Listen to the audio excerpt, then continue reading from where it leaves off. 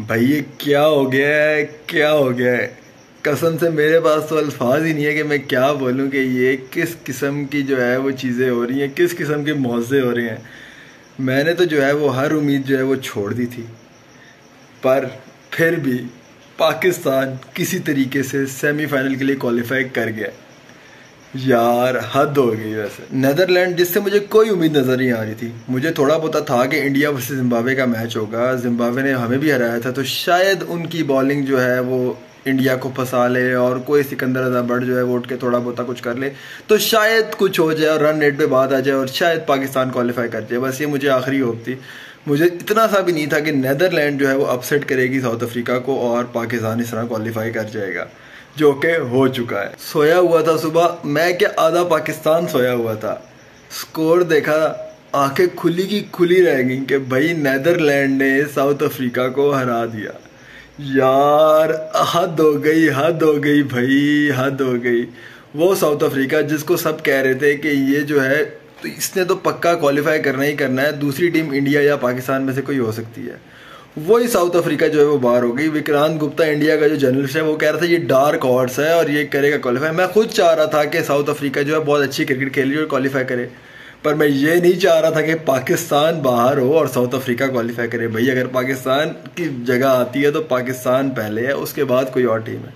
पर मैं चाह रहा था कि ये दोनों जो साउथ अफ्रीका और न्यूजीलैंड इन दोनों में से जो है वो कोई कप जीते। पर अब भाई दौड़ में पाकिस्तान आ चुका है। और अब मैं ये चाहता हूँ कि पाकिस्तान इस सिचुएशन जो बन गई है, यहाँ पे आके अब पाकिस्तान जो है वो कप उठाए और जीते।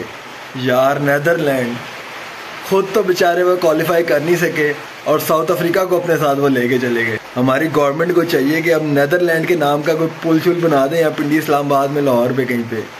खैर, जिस तरीके से हम सेमीफाइनल में पहुँचे हैं ना, कोई मौजे से कम नहीं है वो बात।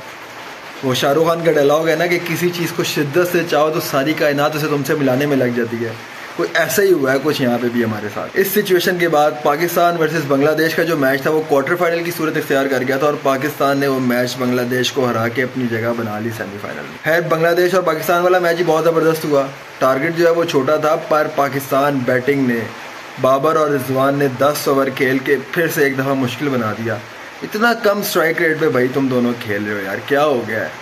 उधर देखो इंडिया को सूर्य कुमार यादव को देखो, विराट कोहली को देखो के एल राहुल को देखो, किस तरह से वो लोग खेल रहे हैं और उसका स्ट्राइक रेट देखो।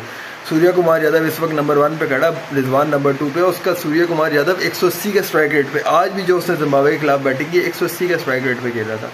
तो यार ये ओडिया ही नहीं खेलना, हमने टेस्ट मैच नहीं खेलना है तो हमें पावर प्ले को यूज़ करना है तो थोड़ा सा हमें स्टार्ट करना पड़ेगा। जैसे कि हारिस कर रहा है, हारिस क्या ज़बरदस्त फाइंड है यार। तीस स्कोर करता है, जो मैं शुरू से पिट रहा हूँ कि तेज़ तीस स्कोर करो। बेशक पचास बॉलों पे पचास करने से अच्छा है, तेज़ तीस कर दो। तेज़ तीस करो, पूरा का पूरा मैच जो है वो नक्शा ही बदल के रह जाता है। थर्टी स्कोर आपका जो है, उसने जो थर्टी स्कोर किया है साउथ अफ्रीका वाले मैच में भी और आज बांग्लादेश वाले मैच में भी उसने पूरे मैच का जो है वो नक्शा बदल दिया बाबर और रिजवान को अब सोचना चाहिए कि यार सेमीफाइनल में पहुँच गए सेमीफाइनल में अब ये सब कुछ नहीं चलेगा। यार, बाबर भाई को सोचना चाहिए कि यार, वो वन डाउन आ जाए। क्या ज़रूरत है उन्हें ओपनिंग करने की? ऐसी कौन सी आखिर आई हुई है कि ओपन ही करना है? आप वन डाउन हो हर इसको आप टॉप पे भेजो, शुरू में जाके वो मार धाड़ करे पावर प्ले को यूज़ करे, अगर विकेट गिर भी जाती है तो बाबर आज़म आके संभाल ले नीचे से। पर एटलीस्ट ये तो होगा कि अगर जिस दिन वो चल जाएगा तो उस दिन हमारा स्ट्राइक रेट ऊपर होगा, हमारे पास पावर प्ले में कुछ साठ, सत्तर स्कोर अस्सी स्कोर होगा। तो हम एक बड़ा अगर रन चेस करने जा रहे हैं तो उसमें हमें फ़ायदा होगा अगर हम टारगेट सेट करें तो। उसमें भी हमें फ़ायदा होगा ऑब्वियसली बॉलिंग पाकिस्तान की वैसी ज़बरदस्त। थी आज शाहीन जो है, वो भी बहुत रिदम में नज़र आया। वो पुराना वाला शाहीन जो है, वो वापस आता हुआ नज़र आ रहा है। साउथ अफ्रीका वाले मैच में बहुत ज़बरदस्त उसने बॉलिंग की है।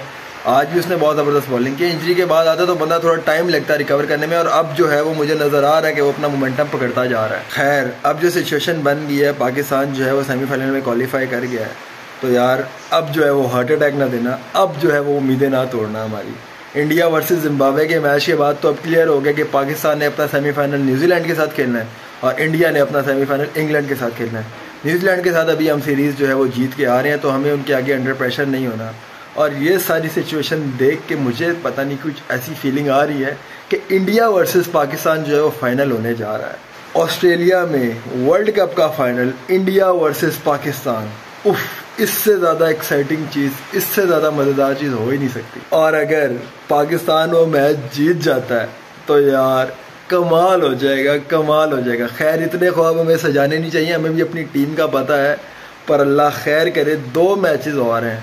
दो मैचेस अगर ये अच्छे खेल जाते हैं तो कुछ भी हो सकता है। हमें बस अपनी वही दुआएँ जारी रखनी है, जो दुआएँ अभी तक हम करते हैं, जिसकी वजह से ये क्वालिफाई कर गए किसी तरह से। हमने वही दुआएँ करनी है, बाकी टीम में जाके परफॉर्म करना है, और मुझे पता नहीं क्यों अंदर से ऐसी फीलिंग आ रही है कि कुछ बड़ा होने जा रहा है। दूसरी तरफ़ इंडिया वर्सेस जिम्बाब्वे का भी मैच हुआ। यार, सूर्या कुमार यादव ने एक बार फिर से बहुत ज़बरदस्त बैटिंग की है। विराट कोहली फॉर्म में नहीं था, वो भी बहुत फॉर्म में आ चुका है। इस वर्ल्ड कप में इस वक्त टॉप स्कोरर बना हुआ है।